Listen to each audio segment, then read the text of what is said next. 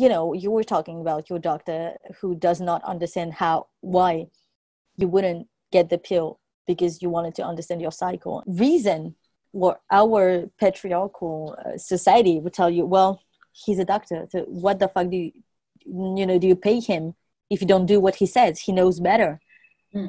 it's so hard for people to understand no it wouldn't feel better and he's still a man and he wouldn't understand and he still doesn't have my body like he doesn't yeah. know what i'm going through so yeah yeah and it's something like the moment we can do something about it is the moment people accept that at some point they will be irrelevant and it will be offensive for them to say something. Just sometimes there are moments, there are situations, there are conversations that you have to understand it is not your place. And it's the same for everyone. I'm in between two waters always, you know, because I'm I could be considered as white. I have a white person's name and surname, but also I'm not that white uh, assuming you know with what the others told me i was like am i not white you know like where do you come from and i'd be like mm-hmm. what do you mean i'm french my name is audrey robert uh, it doesn't get uh, frenchier than that trust me with some white friends i'd be like wow you need to f- shut the fuck up right now because you have no idea what you're talking about and this is offensive like what you're saying right now is offensive and also with some um, uh, um, how do you say it? Racisé. Uh, uh, uh, there is a there is a term to say people of race, people of color. People of color. Yeah, people of color. Yeah, people of color. It's just like I'm struggling to find my words in English. Uh, we have a word in French which is racisé, which basically just means that you're from a, a, a another race than white I will sometimes be in a position where I cannot say anything and my point of view is not relevant because my name sounds French, like white French, and I could uh, pass, you know, I could like kind of chameleon myself into this white person. Me as well. Like, sure, I have the dark hair and the skin, um, but I can still like I have the same problem, right? It's when I have friends who are, um, yeah, my friends who are people of color, basically, sometimes it is really okay to shut up. It is totally fine to let these people just, these people, to let your friends. Them. Those here. no, I get it. Of course I get yeah, to, to just let them vent about their struggles, you know, because that is something you cannot relate to. You can maybe relate to in part, but also not really. And you don't always have to be part of every fucking conversation. It is more yeah. than fine to just listen. Exactly. You know? And also, just stop fucking justifying everything. Yes. Every fucking offensive things that people go through, just stop trying to justify them. You know, I'm having a real trouble with that. Like trying to be like, yeah, but you know, maybe she was just and and you know and like i don't I, I don't fucking care you know we all have problems and the thing is right now i'm i was offended and it hurt and i will be able to just let it sink in and then go back to it and feel if it really was meant to hurt me or if maybe i overreacted. But this is for me to evaluate. I don't need anyone to tell me that I'm going, that I'm too harsh, that I'm too hasty, you know, that it, it I'm like, I know what I'm doing. You know, I, I don't need people like I will. And if, you know, if I'm too hasty, then it will beat me, you know, it will beat me back and, and I will have learned a lesson. Yeah, it's, like you will get to that conclusion on your own right like but in that moment you don't want someone to explain to you but you misunderstood it's because you're so sensitive or whatever also never say that to a person that they're yeah, too no, sensitive don't. like fuck you um, if exactly as you were saying like you need time for it to sink in and then you will see how it makes you feel and if after a while you still say no this was a shitty move and i still feel that way about it you'll talk to them but that is your business I love it when friends are just trying to be like helpful and just like, hey, but maybe can't we just have a moment? You and I just you listening to me and understanding what I'm going through and hearing me just just just for like two minutes. Afterwards you can do your psycho stuff. I don't care. It's hard, you know, to just learn to just listen and just be like, okay, what do you need right now? Yeah. Do you need an answer? Do you need some counseling? Do you need tips, advices? Do you just need to keep venting and that I just be listening to you? Sometimes it's relevant and it helps to just, you know, give your point of view. Or you could do that, but just always putting it into context, you know, saying, I am saying this right now from my experience, which is mine and mine only. And as we said, you know, this is what helped me. But I'm not trying to say that I know better or that yeah. because I managed to, you know, get out of that kind of situation, which still is not the same because we're not the same person now. That helped me. Yeah i've been going through that with my, my, my best friend now who might not be my best friend in two years you know who knows? We're just trying to find the ways and just listen to each other and yeah just sometimes we just want to vent we have this kind of um trust between us and yeah. or yeah sometimes we'll be like so yeah, I sent him a message. I know I shouldn't have blah blah blah. And we're just like, okay, you know what I think about him. Like this is not changing for now. But mm-hmm. if you need to talk about it, let's talk about it. And I'm listening yeah. and I'm listening. Even if I don't like him, if I even if I think he's toxic to you, even if I think he will hurt you, you know it. Like we have already said it. So now the fact is that you cannot you're not able right now to getting out of your life. So yeah. and i don't want to be out of your life just because i don't like him. So i'm going to be here. And i'd rather be here if anything happens. Even if it's to say i told you so which i wouldn't because it's mm-hmm. terrible and you don't need to hear that then just be like he's a motherfucker and i don't want to hear about him. And then she'll be doing whatever things with him and the day that something if something happens and i won't be here or she won't trust me you know she, she will be afraid to call me. I think it's that too. It's just understanding that as a friend or as someone that truly listens sometimes you won't be able to help. You won't be able to prevent things from yes. happening. And you just have to be there when people need you to. And sometimes you just have to shut your mouth. But sometimes also you have to say things. You have to say like okay you don't want to hear that but i'm telling you you've been an asshole and you shouldn't have said that. And this is this one's on you and you have to apologize for it because it's not cool. And this all goes with uh, re- relates to intuition also. It's just mm. yeah it's, it's always the same thing just being able to feel you know what the other person needs and not being selfish. There is a lot of yeah being able to show or to tell about your experience as something uh, that people should look up to. And you're like fuck that's not what i need to hear right now you know we are saying it at the, the beginning of our conversation This the thing when people feel your potential. It means you have the potential to be looked up to, liked, uh, to make people laugh. And sometimes you don't realize it. So there is first, you know, this first step where you have to understand where you stand. And it's not about boxes and it's not about society or it's just about, yeah, where you stand, what kind of people you are which is why I feel like all this work I've been doing on myself would be relevant and so helpful for my career because mm. it all hmm. comes to that.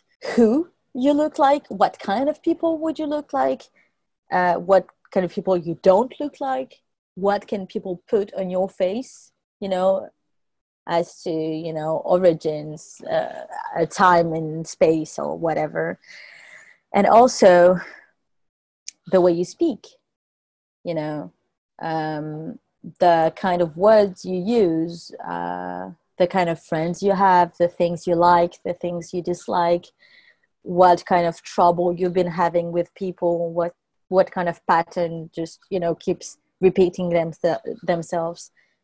And yeah it's a way to just knowing how getting you know more insight to as to how people see you. I felt for years that i was kind of invisible and no one would notice me. And and and it came to a shock when someone told me you are too much as like meaning you take too much space. Like when you're here even if you don't talk people you know you're here.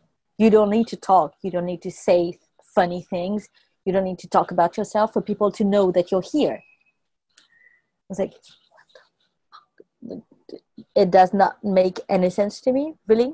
Like i feel like if i don't keep talking 24 7 then people would just you know like forget that i'm here that i exist. Okay.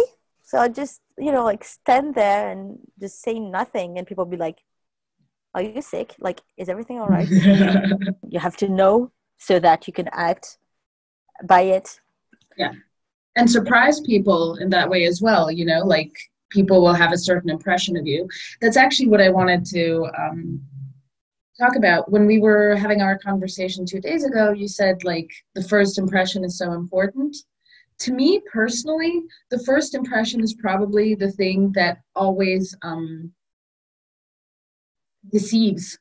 Like mm. you you meet someone and the feeling is always very accurate i can 100% agree on that but for me the first impression is always like so wrong in a certain way because you only get to see like the mask of a person and then you get to know them and you're like dude layers that's definitely how i felt with you for example when i first met you i thought she seems nuts you're a powerhouse, bro. Like you're so much more than just she seems nice. You're someone who has energy. You you have this crazy aura and you have this sense of introspection and reflection that I just don't know from a lot of humans. and I really appreciate that. And I think it's so cool that we get to be friends. I think you, you have the exact same thing and that's what made us connect you know at this level like so fast and so strongly and and not thinking it doesn't make sense. Like it it, it just felt real. And yeah about first impression i, I mean the feeling. I mean yeah. you know, the intuition like the feeling in your guts. And i think it's also always uh, about time you know. Meaning where do you stand in your uh, time frame in your life you know? Mm-hmm. Where did you start? What are you going through right now? And it's the same for another person. And it's just like sometimes you meet people that you're meant to just spend three months with and they'll be the best three months of your life and you you'll just have to it will take you seven years to just forget those three months because they meant they meant everything and some people you have to just spend you know seven years together and at some point they'll just be gone and you don't know why because it's just like that like yeah. to travel alongside each other for just that much time. And also it's all about you know mourning. Yeah. you have to mourn your relationships and it's so freaking hard you know sometimes. I have these feelings with you know tv shows or or films that sometimes you know the character dying is so much easier than when they decide to go you know mm-hmm. Mm-hmm. and you know they're still alive and you know they're still living and they're still you know having experiences with other people and you're not part of that life and mm. it's kind of easier when there's no life at all you have to mourn these relationships and also the person you were because it impacts who you are. And i've been having the hardest time to just mourn the the person i was let's say 3 years ago 5 years ago. It's just weird how I try to live by it and she's gone and she's long gone and she's been gone f- forever you know and I, I don't even remember exactly what i how i thought back then and i just have to mourn it and be like okay who are you now? And what do you aspire to? And who are the people you want to spend time with and you want to keep you know traveling with? In in terms of intuition again and when and when you meet someone for the first time and everything what I always thought I meet someone, I like them, they don't seem to like me, but my gut and my feeling tells me this person is worth it. And the heartbreak and the pain that could potentially come with it do not matter in this moment. And when it does come to an end, you know, that's okay. I completely and 100% relate so much to this idea of mourning the person who you were. That is something I talk about in therapy a lot. Just that is the saddest part to me. It's not the people I lost along the way. That's very sad. Sure. Okay, cool. But the sad part is just knowing you were this different person. And it hit so hard that you mentioned like um, you're with someone for three months and it takes you seven years to get over it because how did you know? Um, when I was 17, I was with someone for three months and it took me forever to get over that. And, and just yesterday in therapy, I was like, this is seven years ago. Can you imagine? And I thought I would never be able to get over that. But the hardest part in that whole story is that seven years ago, I was so different. I didn't know better. Yeah. I didn't want to know better. You know, I was just this young person who just goes through life thinking that the person I was dating was not a drug dealer, but they were. Yeah, it's how people make you feel, and and, yes. and that's what that's what uh, dangerous at some point. And that is why it is so so so important to work on who you are and how you feel about yourself, and yeah. and finding the worth in yourself. It's just like okay no i know who i am so you cannot make me believe something else. That's what happens to me a lot you know and people be like you know or uh, compliments and whatever and they'd be like yeah thank you i know. Yeah i know yeah I, I do know. And it's not about being you know uh, an asshole it's just feeling how if i wasn't aware i would listen with another ear you know mm-hmm, and mm-hmm maybe put myself in danger because I would love the way this guy, for example, is talking about me. But when I know my worth, then that seems so ridiculous. And I'm like, I guess I know. Thank you. I do know. And it does, like, when I, it does not work, like, I can see how you're trying your way into uh, whatever you're looking for. And, and, and, and no, thank you. Which also, you know, justifies the fact that I, I haven't had sex in three years because like I need more. Like right now, I'm gonna need more than this. Jokes apart, it, it's it's because I've been working on this and and it takes time. You know, like it's been three years now. Um, a year and a half that I really, you know, went for it and i'm mm-hmm. still trying and but it, i feel better you know this quarantine and everything it helped uh, taking the time for myself and just being also um, far from people's uh, people's eyes and people's judgment and yeah just trying to be like okay what what do i look like? What do for me you know like as objectively as i could.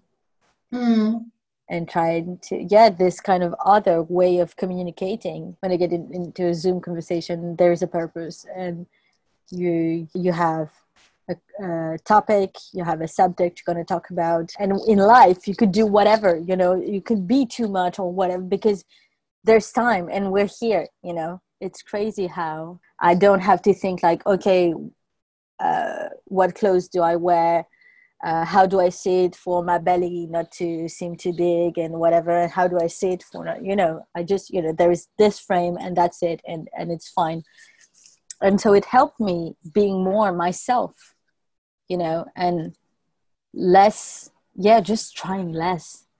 you know sometimes like fuck you try so hard just calm down okay just try to relax and just be who you are and it will be fine all these people i've been working with um, this past two months it's crazy how I've been able to be myself and those are people I never met before. I feel like they they understand, you know, it's a lot through working.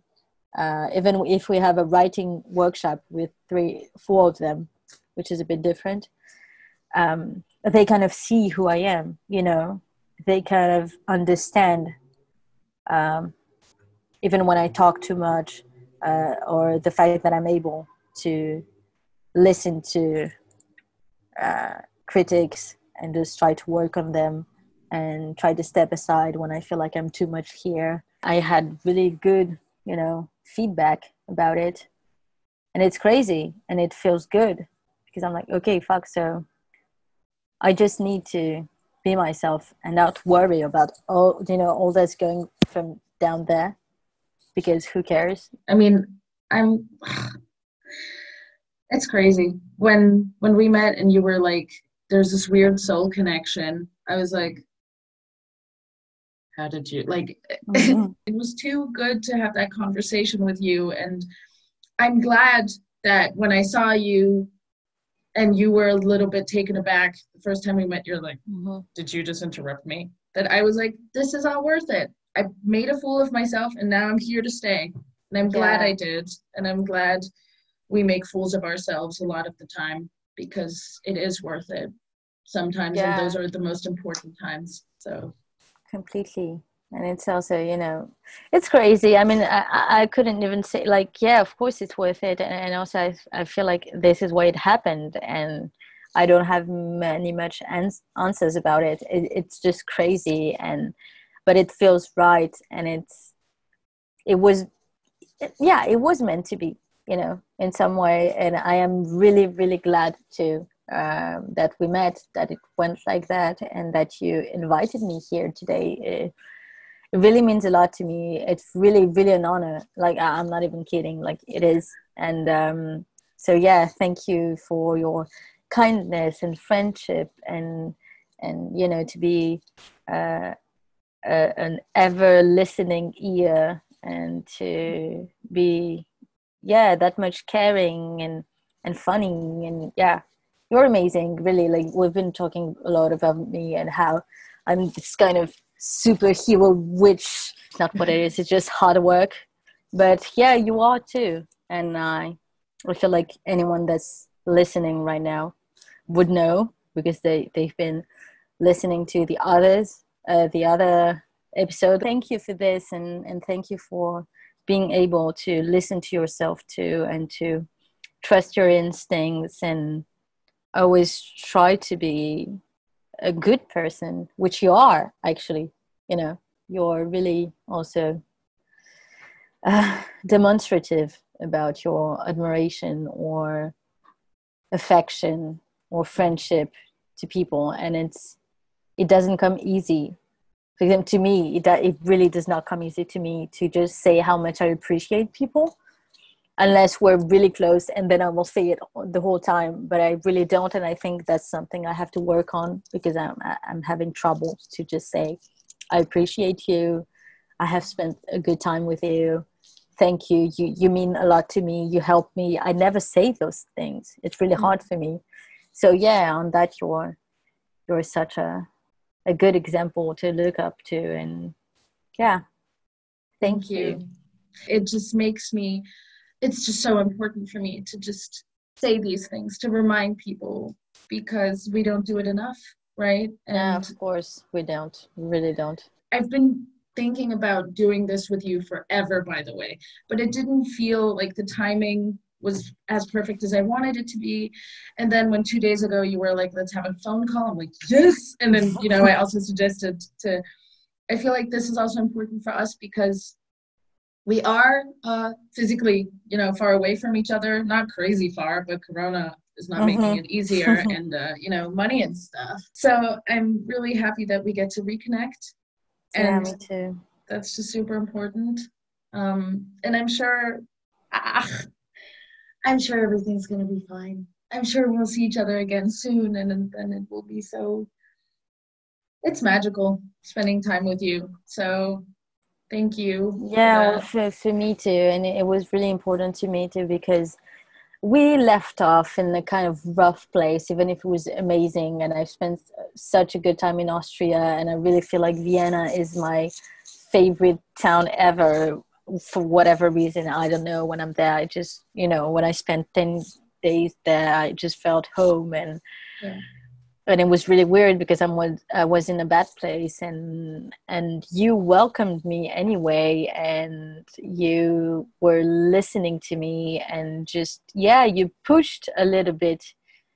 You pushed me a little bit to just say what was wrong and it helped me a lot. Like it did. And it was it, it was hard and it took me quite a, a long time to just process process everything and be come to terms with it. But uh, i needed that and i'm not sure that i would have. I, I would be a different person right now if i hadn't have the opportunity to do that back then. So yeah and i'm, I'm so glad we get to talk uh, at length about this i'm sorry for the sound editing. It's going to be terrible. Out so um, but yeah no it's amazing really. We could i i feel like we could you know talk an hour about no thank you no thank you. No, don't talk about it. Don't mention it. No thank you. But yeah no it, it's it's important also because we're far away from each other and we actually haven't spent that much time together. But it does feel more real with you than with people that i've been spending you know six years with mm. uh, that i've known for a lot of time uh, and also yeah you're one of the people i want to share a thing with when when things happen and and so yeah i'm glad that you shared that with me today. It's really it's really cool. And for you you witches uh, listeners out there just follow your intuitions and yeah be true to yourself. And check out audrey on the social medias because she's hilarious um, it's yeah. how is it now? Because you change your Instagram handle a lot. What is it now? Is it is at underscore Audrey RBT. Like you have those moments, pretty much. You know, like we both do that. I think where we just go crazy in our stories, and still it's all very aesthetically pleasing because you do a lot of work on that um, in your feed, which I don't, but that's cool. Um, yeah, I really have to go to the bathroom. So yes, I'm, and I really need to smoke my cigarette right now. So obviously, what timing. am I even thinking on? Perfect timing. necessities, you know, bare necessities: peeing, smoking, same, exact same. Absolutely, this is what we have to do. Oh, it's Friday. Have a lovely weekend. You too. I'll see you soon. And yes. Thank you for coming over. Ish. Thank you. Mwah. Bye. Bye bye. ほほほほほ